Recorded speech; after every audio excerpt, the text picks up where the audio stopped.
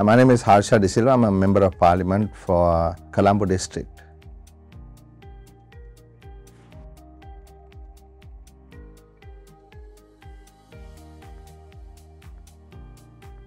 Certainly not. Why should anybody be discriminated against, whether it is LGBT plus or um, eh, based on any other uh, criteria?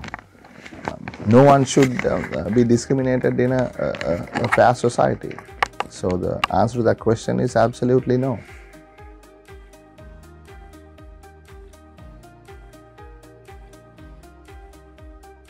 Well, I would tell them, uh, you know, why would you want to do this? Because it's not fair. Uh, people are born that way. Uh, some people are born with uh, brown hair, other people are born with black hair. Uh, people are born in different ways.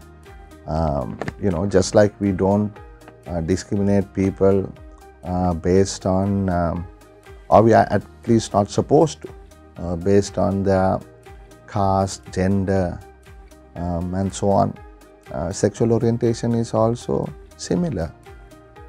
They're born that way, and we need to accept the different people in society.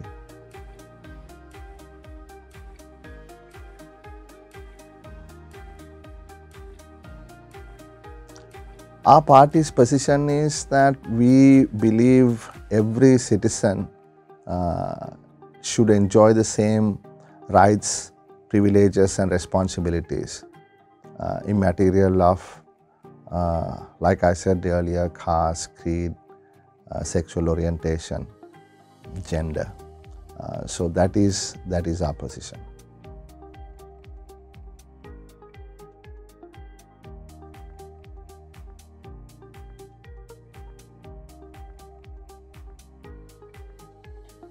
I think is unacceptable, completely unacceptable. Um, you see, these laws that have, uh, you know, been there for, for over a century uh, need to be amended.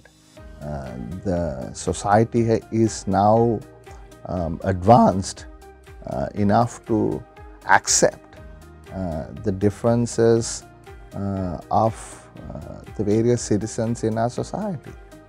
Um, arresting people for things that they have no control over uh, is um, absolutely not acceptable.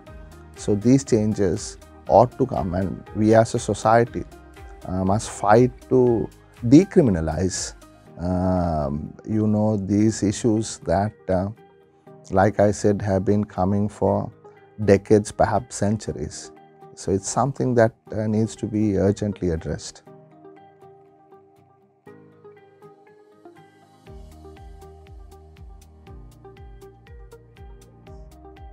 Well, like I said before, you know, we as a political party uh, treat every uh, citizen uh, equally. So we will have to, um, when in office, um, do what needs to be done.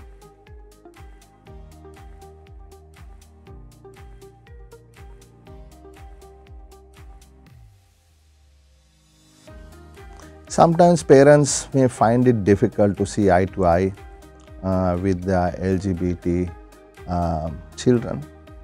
I know parents who's got uh, LGBT uh, kids um, and um, they have come to accept them uh, because uh, it is something that they are born with.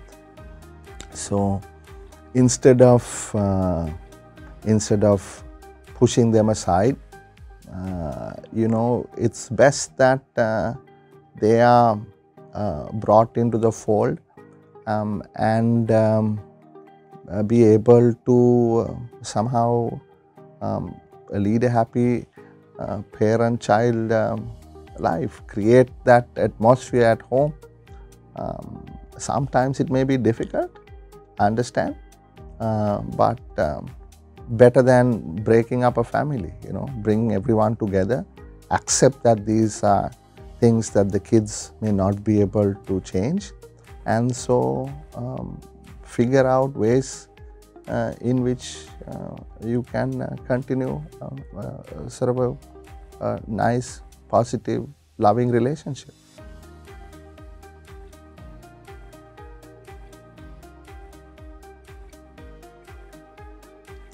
Yes, I mean, it is in the mind, no? I mean, if one thinks that these are things that uh, can be and should be changed, then they will sometimes fight to change that kid.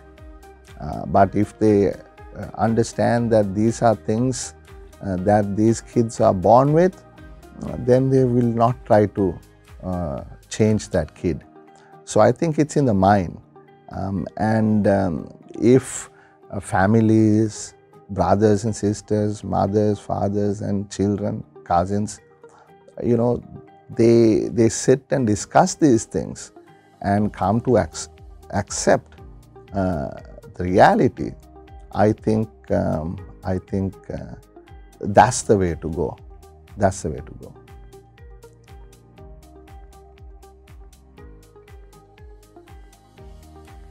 Yes, I have. I have uh, several LGBT plus friends.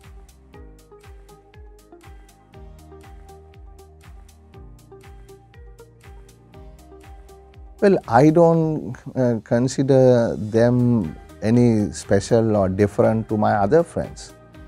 Uh, my friends are friends because I value their company. We think alike and uh, probably would enjoy the same things in life and um, have uh, sort of uh, dreams and hopes for ourselves and our families uh, into the future. Um, I don't necessarily consider them or others any different to my other friends. They're all friends of mine.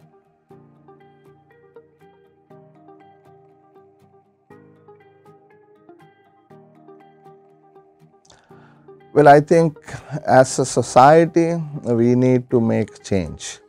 Um, and uh, when I say um, society, yes, LGBTQ people also have to play their role uh, in creating awareness, bringing, uh, you know, doing things like this uh, so that the greater society um, uh, is uh, made aware of the issues that uh, LGBTQ plus people uh, face because sometimes they don't know. Um, and uh, society as a, a whole uh, must begin to um, accept the differences uh, between uh, non-LGBT and LGBT people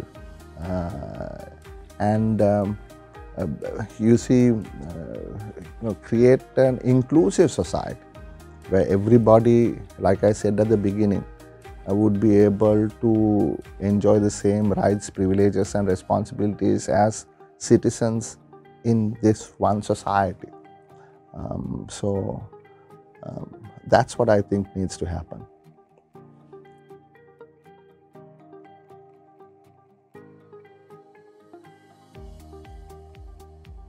Because a divided society uh, would never succeed. Uh, a society that would succeed is if it is united, united in the differences of different uh, groups in uh, each society. Men, women, young, old, um, you know, different uh, religious backgrounds, different ethnic backgrounds, different backgrounds in uh, sexual orientation. You know, by bringing everyone together, we can create a colorful, um, strong uh, society uh, that can that can succeed. Right? Fighting amongst ourselves is not the answer. Bringing everyone together is the answer.